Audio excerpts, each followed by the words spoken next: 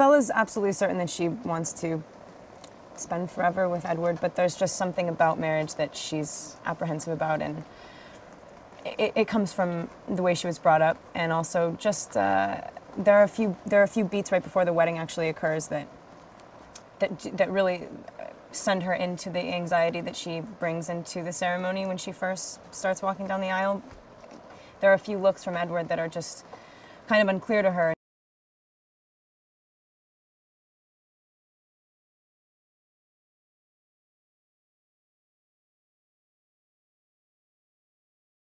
Bella wants to keep, obviously have have the baby, and um,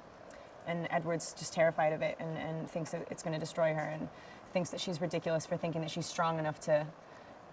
to have a vampire baby, because he thinks it's just like you know Satan's spawn, because that's how he feels about himself.